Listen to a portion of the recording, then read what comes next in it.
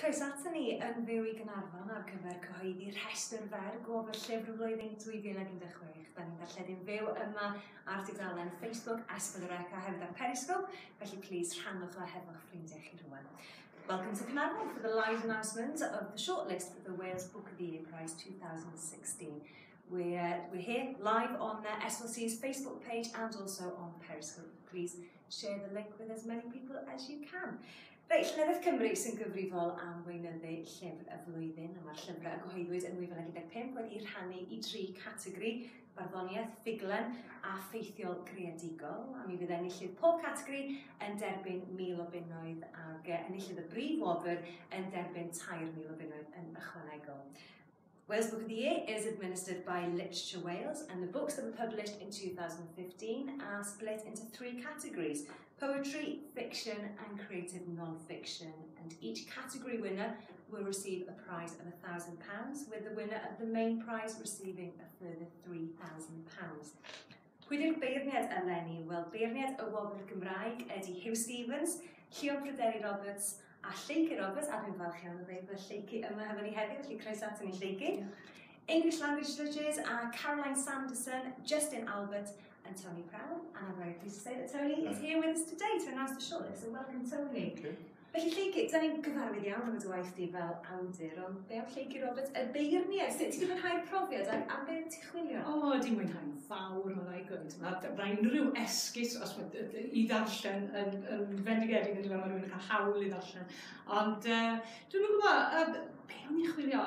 Os oedd rhywun yn meddwl um, am ystyriaethau be fydde rhywun yn chwilio ac yn y blaen, um, ac yn gwneud rhywbeth o um, chi bod y restr o ystyriaethau. Wel, mae hynny'n mynd allan trwy ffenest, ydy dyn, unwaith ydych chi'n dechrau darllen, achos dwi'n meddwl mae'n mater grefol yw e. Um, yr ergyd yn y, berf, yn y perfedd neu, neu beth bynnag, um, sut mae rhywun yn ymateb, sut mae awdur yn gafel yno chi am ba bynnag feswm felly. A wedyn dadansoddi beth yw'r hysymau falle o bosib, yeah. ond yn ymateb cyntaf na dwi'n meddwl pwysig um, efo bob un o'r categorïau.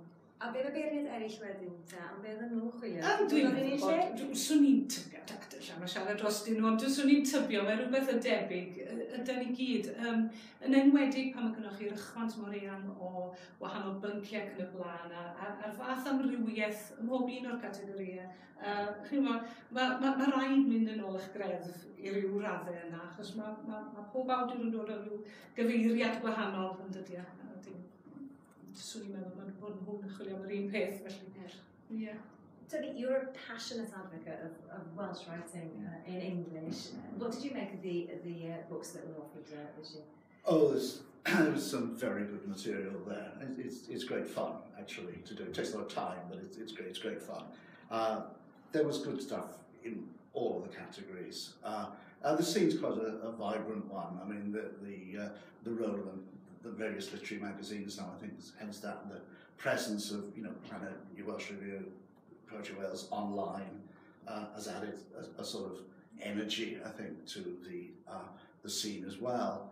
Um, so, and things like Welsh Arts Review, which is fairly new and only operates online. They've a lot to encourage well, the arts generally, but short fiction in particular. Um, and I'm, I'm old-fashioned enough to like the book in my hand, but this has made a difference to the uh, to the scene, I think. Uh, and, uh, you know, you, it's very nice to do this job once in a while, not too often, it's very time consuming, uh, but you, you, you really do see the whole range. And it, it's actually, for a relatively small country and a relatively small scene, it's really impressive. It really is. But in terms of judging, how, how do you go about it, Tony? What were you oh, looking for specifically? That, that is hard. Um,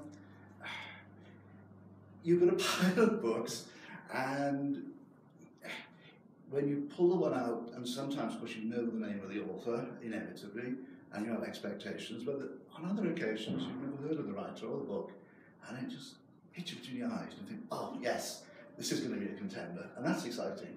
It, it really is. And then, obviously, if there are people whose name you know, do they measure up? And how do they measure against each other? It's, it's, it's challenging, um, but it, it's, it's really enjoyable as well, you know. You've, you've, I feel I'm up to speed for just a few months. o ran y categori wedyn te llegi, yn amlwg mae yna dri categori. Os yna unrhyw un o'r categori yna yn anoddach i'w ddyfarnu? Na, na Mae'r ma uh, lenni o'n i'n teimlo bod y categori ffuglen yn, yn gryf iawn, iawn, iawn. Mi'n sy'n saith neu wyth wedi gallu bod yn ystod fel o swn tybion de. Um, a fydde rhywun a chwaith gwahanol i ni wedi dewis tri gwahanol o bosib. Um, Mae'r ffeithiol greadigol yn anodd mm. bob amser yn anodd. Achos mae'r ma hachwant y deunydd, mae ma bob dim fewn yma rhywsut yn rhywun yn teimlo te, mae yna gofiannau, mae hynna'n gofiannau, mae yna um, lyfrau academedd, mae yna chybod astudiaethau, mae yna bethau mwy creadigol wrth gwrs fel mae'r enw yn awgrymu beth bynnag. A mae yn anodd iawn ceisio gweithio rhywna fewn i dri yn sicr. Mae gan bawb i gryfderau a chymod, um, mi, mi oedd hynny, mae rai cyfadde o ran y, y, y tri ohono ni. Neithon ni ddim cytuno ar unwaith, bydde hynny'n, bydde hynny wedi bod yn amhosib, dwi'n meddwl. Cyn fydden ni'n cael gwybod rhan naw llyfr sydd wedi cyrraedd y rhestr berta. Wyt ti'n hapus e efo'r rhestr terfynol? Yndw, um, hynny yw, fydden ni, fydden ni yn gweud nad dyma'r restr ddelfrydol yr un ohono ni yeah. fel unigolion, ond fel tri, fel panel o tri, dyma'r restr ddelfrydol. Um, Dwi'n meddwl bod e'n arwydd o ddiwydiant llyfrau iach uh, pan mae yna uh, ddadlen neu drafod. Uh, does, does yr un ohono ni'n gwrthwynebu ddim un o'r wrth, wrth reswm ydy, jyst bod na, oes mae'n drafod wedi bod, a mae ni wrth gwrs yn beth da ac yn beth iach ofnadwy ac yn arwydd o'r amrywiaeth sy'n yna. Um, hapus iawn ar nawr. And how, you know, the three of you as judges, how much of a discussion was there, uh, you know, was, was Oh, thank God, out thank uh, God for email. you know, we, I, I think the uh, challenges on, on the English side are very similar to, to yours, I think. Uh, fiction in particular, very strong. Um, fortunately, people don't read on those anyway. Uh, the creative non-fiction is always a challenge, they're so different. You know, I've stocked, I've stocked my shelves with rugby books. Uh, uh, you know, there's history books, biographies, you know, uh, stuff about the army recruitment in Wales. I mean, it's a real range of interest. Um, I'll come back later, but I mean, creative, creative non-fiction is the issue there. But uh, yeah, we were in pretty much constant communication, uh, usually by email. Um, one tries not to influence the other people too much, but you obviously say, oh, I've just read this, you look out for this one, because that's on my long list. We never got into this. Each of us had a kind of long list and then put them together. Well, shall we announce the shortlist? Let's sure. move on. Um, Lle Kate, na ni ddechrau hefo'r rhestr Gymraeg, sgolwch yna, um, a gwobr Prifysgol Aberystwyth am ddorddoniaeth Gymraeg. Uh, nes draw gan Mererid Hopwood, uh, Hel Llys yn y Glaw, Griffith Owen, ac eiliadau tragwyddol Ken Williams. Anita, y categori barddoniaeth, symud mlaen rwy'n at y rhestr ffiglen, ysgolwch yma. Norte gan John Gower, y bwthyn gan Cari Lewis a Riviera Neu gan Dewi Crysor. Ac yn ola, gwobr ffeithiol credigol y Brifysgol Agored yn Herwy. Pam na fi Cymru, Simon Brooks, Isdeitlan unig, Emyr Glyn Williams, a dyddiau olaf o Englaen Dŵr gan Griffith Allen Williams. Na ni te, dyna'r naw llyfr Cymraeg. Um, Tony, the English shortlist, please. Um, should we start with the Roland Mathias Poetry Award? Right. Um, Love Songs of Carbon by Philip Rose. Boy Running by Paul Henry, and Pattern Beyond Chance, Stephen Payne. The Rhys Davis Trust Fiction Award next, right. please, Danny. The Girl in the Red Coat, Kate Hamer. We Don't Know What We're Doing by Thomas Morris. And I Saw a Man by Owen Shears. And finally, the Open University in Wales Creative Non-Fiction. Right. Losing Israel by Jasmine Donaghy, Woman Who Brings the Rain by Lynette Grammage, and Wales Unchained by Daniel G. Williams. Hello. Yeah. attention. Wel, Heather, mawr barn i bawb. A chofiwch, os ydych chi eisiau holl fanylion rhestr fer, a hefyd eisiau clywed darlleniadau o'r holl lyfrau, ewch draw i wefan Esbrorec a gwefan Llynyddiaeth Cymru yn sydd ar ôl y darllediad yma. All the details about the shortlist, the readings uh, from the books, they're on SOC's website and also on the Literature Wales website. He's going there straight after this broadcast. Ond lleicu rhestr ddifur iawn eto eleni, mae'n ddigon o waith trafod. Ond on, gai jyst holi yn sydyn, um, y bob o ran y llyfrau uh, ffeithiol creadigol, maen wastad mor, mor amrywiol. Pam bod y tri eleni uh, wedi cyrraedd y rhestr fe? Wel, i fynd yn ôl i beth o'n i'n gwneud cynt mewn ffordd, yr, yr ymateb greddol yma, um, pa lew sy'n eich tawel chi, chi'n bod, yn, yn ergyd yn y perfedd ar am ba bynnag reswm. Um, y tri yma, wel, chi'n gwybod, uh, mi oedd, mae rhaid cyfaddau, mi, mi mi oedd o ryw bimp, um, mae'n siŵr pimp yn bendant, lle oedden ni'n trafod a lot o waith trafod arnyn nhw, a dod o'r pimp hynny, hynny wedyn i'r tair yma. Um, mae yna waith ysgolheigedd yma, um, gwaith, nid yn unig gwaith ysgolheigedd, ond gwaith sy'n, chi'n gwybod, yn ysgwyd y sylfaeni, swn i'n dadle. Um, yn, uh, uh, ysgwyd sylfaeni'n cymryddiad ni ohono ni'n hunain, un ohonyn nhw, mae'n arall wedyn sy'n waith ysgolheigedd, um, ac eto yn darllen yn rhwydd bron mewn nofel detective felly, a'r trydydd wedyn yn swyno, yn, chi'n gwybod, yn cyfareddi'r darllenydd efo diddordeb yr awdur yn ei destun, um, a hefyd yn rhyw lun o hyfforddiant, felly mae'n elfen greadigol o hwnna. Dwi'n meddwl chywod, um, mae'r rhesymau dros i dewis nhw'n gwbl wahanol i'w gilydd, ond y, y tair yn apelio gri iawn, gri iawn iawn hefyd. A, a mwy na'r tair, mae'n rhaid dweud hynna. Mi fysa yr rhestr fer mewn wedi gallu bod lot iawn hirach. Ond y gair creadigol yna yn mm. holl bwysig eto eleni? Wel, um, gan fod yn gategori sy'n, chywod, um, mae bob dim arall yn perthyn iddo fo. Mae ffuglen, wel, mae hwn yn cynnwys bob dim arall. Felly, chi'n bod, creadigol o bosib, ond unrhyw beth arall sy'n dod fewn i'r categori yna, a mae bynnag reswm i fod yn gryf, felly, wel, chi'n bod, um, a mae yna rai o'n nhw fwy creadigol neu gilydd. Terry, the fiction category seems to be a mm. very, very um, mm. strong mm. one. Uh, and then why did those three books uh, get to the shortlist? Well, there were, there were a number of very good books that didn't get to the shortlist, but uh, we were absolutely agreed on, on these three, I'm, glad to say. Uh, it's pleasing that uh, two of them are first, yeah, first books, uh, Thomas Morris's collection of short stories and, and Kate Homer's uh, novels. What made them stand out? Um, all three of them involve the reader.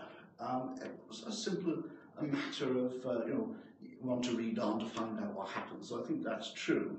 Um, but they, you, you're taken into that, that world. Um, and it's, a, it's our world, they're, they're all set, they're contemporary novels, they're set in our ordinary world. Uh, but in, in many ways they transform it, they, they, they take it beyond the ordinary. Um, all three of the works are, are just beautifully written. Um, they, they make you see afresh. And as I say, each of these three made, uh, had, I think it's fair to say, an immediate impact, certainly on me. Uh, you know, this was quality writing in all three of them. Beth sy'n mynd i gyda'n te Lleigir rhwng rwan a'r cyhoeddiad yn mis Gorffennaf? Faint o ail ddarllen fydd yna? O, mi fydd, mi fydd. Dwi'n credu bod mae'n uh, mae her mewn gwirionedd i ail ddarllen, uh, neu mae'n her i lyfr ar un ystyr i, i, chi, i, i, i, i afel yn y darllenydd ar yr ail ddarlleniad a trydydd ar bedwerydd ddarlleniad. Um, Mae'n bosib iawn fydd na newid barn ynglyn â ambell un o'r llyfrau yma ni. Rwy'n chybod, uh, fydd fyddan nhw'n cynnig eu hunain i'r fath raddau ei gilydd i ail a trydydd ddarlleniad. Ond fydd di ddiddorol gweld, dwi'n dwi edrych mlaen yn fawr beth bynnag, achos yn aml iawn mae rhywun cael cymaint mwy allan o'r ail a trydydd ddarlleniad. Wel, diolch o galon ti am dy gyfni, uh, Terry, chdi ar lleicu.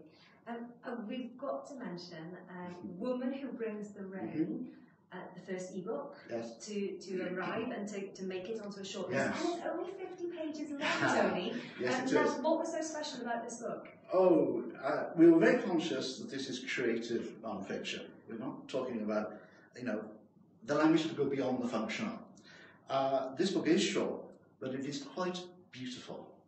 Uh, it's Kate, Elena Granich lived for a spell in rural Japan and she encounters, she's a Welsh-speaking Welsh woman, she encounters a culture that is completely unfamiliar, completely alien, and she sees it with a poet's eye. She sees it precisely and vitally. Um, there are interesting parallels. Um, the area she's in, which is northern Japan, uh, there was a culture called the Ainu, and they've been, their whole culture has been, in a sense, displaced or taken over. Um, place names have changed uh, by the main body of Japan. And I'll, she doesn't make the connections, but I make the connections. There are echoes there of a situation which we're not unfamiliar with. Um, but above all, I think it was sheer beauty of the writing. She meets this unfamiliarity with all her imaginative nerve ends open, and, and the effect is, I think, quite remarkable. Uh, one of my uh, fellow judges said that it reminded her of a, a piece of netsuke. I don't know if you know those intricately small pieces of carving, uh, wood or ivory that you get in Japan, and I think that's a there's a precision there. It is short, and you know we we thought hard about what we were doing.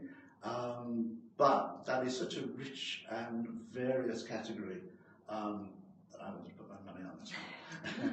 well, I'm looking forward very much to reading the books. Thank you very much for your company, Tony, and uh, we look forward to seeing you again uh, in July. Felly dyna ni, wedi cael gwybod pa naw llyfr, neu 18 llyfr uh, sydd wedi cyrraedd yr rhestr fer eleni. Byddwch chi'n feddwl ohonyn nhw, darllenwch, trafodwch, Please cofiwch hefyd uh, bod yna croeso i chi bleidleisio drach eich hoff lyfr chi yng ngwobr barn y bobl Golwg 360. What do you think of the shortlist? Please read these books, uh, join the debate, and uh, remember that you can also vote for your favourite book, the Wales Arts Review uh, People's Choice Award.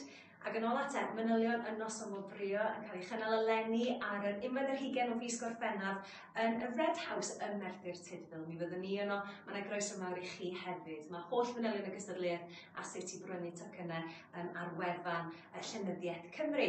The award ceremony this year will be held on the 21st of July at the Red House in Merthyr Tydfil. Uh, tickets are available and all the information you need on the Literature Wales website. So a quick reminder of who's on the shortlist this year. Philip Gross, Paul Henry and Stephen Payne for poetry, Thomas Morris, Kate Hamer and Owen Shears for fiction, and Jasmine Donaghy Daniel G. Williams and Elena Grammett for creative non-fiction. Congratulations to all the authors and publishers and thank you very much for joining us. Enjoy the reading. A dyna'r gyfan gen Anita am y tro llongarchiadau i'r holl awduron a chyhoeddwyr. Griffith Owen, Mereri Dopwood a Ken Williams am ei llyfrau barddoniaeth, John Gower, Dewi Prysor a Carol Lewis am ei nofelau ac i Griffith Aled Williams, Simon Brooks ac Emyr Glyn Williams am ei llyfrau Ffeithiol Creadigol. Diolch chi am eich cwmni, mwynhewch y darllen, a ni weld chi ym mis Gorffennaf. Diolch yn fawr.